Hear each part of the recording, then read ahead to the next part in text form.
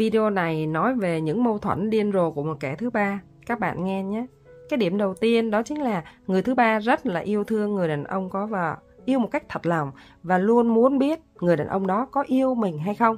Thậm chí nhiều người thứ ba đã dùng nhiều cách để thử lòng người đàn ông đó bởi vì chỉ muốn biết rằng người đàn ông đó có yêu mình nhiều như cái cách mình đang yêu họ hay không.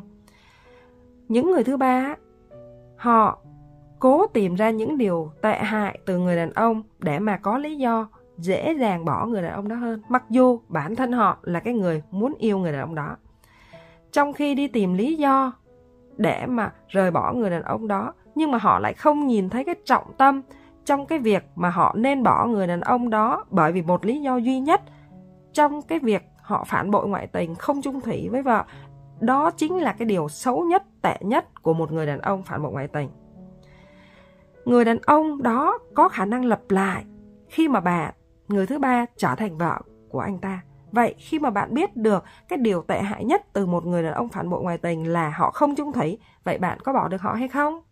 Cái điểm điên rồ và mâu thuẫn của người thứ ba đó chính là vừa muốn yêu người đàn ông có vợ, lại vừa muốn thoát chạy khỏi anh ta như một kẻ khùng. Nhiều người thứ ba muốn ôm chặt người đàn ông đó, muốn giữ người đàn ông đó cho mình, nhưng đồng thời lại tìm mọi cách làm sao thoát khỏi cái cuộc tình đó. Bạn thấy có mâu thuẫn không? Bạn thấy có điên rồ không? Điểm mâu thuẫn và điên rồ thứ ba của một ai đó đang tình nguyện cam tâm làm người thứ ba đó chính là yêu người đàn ông có vợ, nhưng mà khi muốn buông người đàn ông đó thì người đàn ông đó đồng ý thì người thứ ba lại chạy theo, lụy, bám và không ngừng lại được. Và cuối cùng là người thứ ba lại quay lại cái vấn đề đầu tiên.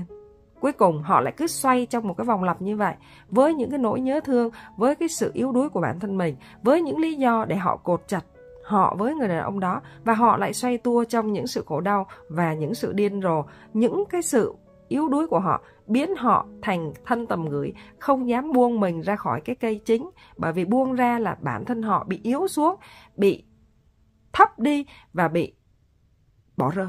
Một người thứ ba điên rồ và mâu thuẫn nhất đó chính là người thứ ba rất là muốn buông. Trong khi đó, người thứ ba có giữ cái gì đâu mà buông. Người thứ ba có nắm được cái gì đâu mà buông. Có cái gì là của mình đâu mà mình giữ. Chồng thì không phải là chồng của mình. Người thì cũng không phải là người thuộc về riêng tư dành cho mình. Người đó cũng không sẵn sàng đến với mình mà cứ muốn buông. Có dính mắc ở đâu mà buông. Anh ta có trói cột mình đâu mà buông mình với anh ta chẳng có liên đới với nhau về một cái vấn đề pháp lý gì, nhưng cứ muốn buông có ai trói cồn mình đâu, có ai thắt, có ai giữ, nắm níu mình đâu, nhưng cứ muốn buông cứ muốn chạy thoát. Trong khi đó, cái sự mà cần làm nhất đó chính là im lặng, bỏ đi, rời khỏi cái vị trí mình đang làm việc, hoặc là bản thân. Không giao tiếp với người đàn ông đó nữa. Từng ngày từng ngày, đó chính là cách, nhưng không làm. Lúc nào cũng nghĩ rằng mình muốn buông Em rất muốn buông, chị ơi chỉ cho em cách buông đi, nhưng mà việc làm hàng ngày là không làm được. Vẫn gặp người đàn ông đó, vẫn nói chuyện với người đàn ông đó và vẫn không thể nào kìm lòng khi người đàn ông đó nhắn tin. Lúc nào cũng muốn buông, thật ra có cái gì trói buộc mình đâu. Tự mình không làm được những cái điều rất là nhỏ bé tầm thường đó chính là đừng có liên lạc với người đàn ông đó nữa, đừng nghĩ về người đàn ông đó nữa, hãy làm việc khác trong khi nhớ về người đàn ông đó thì không làm mà lúc nào cũng quan tâm đến cái chuyện mà mình muốn buông. Buông là như thế đó buông là làm những việc nhỏ để bỏ được người ta. Không làm được những việc nhỏ, làm sao bỏ được họ mà cứ nói là mình muốn buông, đúng không nào? Cái điểm điên rồ và mâu thuẫn của người thứ ba tiếp theo, đó chính là luôn chứng minh rằng mình yêu không phải bởi vì tình dục. Nhưng mà thực tế, cái câu chuyện phản bội ngoại tình không bao giờ là một cái câu chuyện yêu chay. Và nếu người đàn ông tìm đến với một người thứ ba vì nhu cầu sinh lý của anh ta, vì sẽ chia tình cảm với người đàn bà thứ ba mà không có vấn đề tình dục thì chính bản thân người đàn ông đó sẽ không cần người thứ ba để làm gì.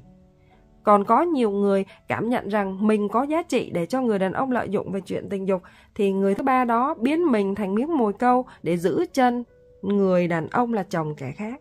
Các bạn thấy cái vấn đề họ xử lý như vậy có thảm hại và tội nghiệp cho họ hay không? Họ xử lý, họ giải quyết vấn đề cá nhân của mình trong cái sự bế tắc như vậy rất là đáng thương và không có lối thoát cho những người như vậy bạn nhé.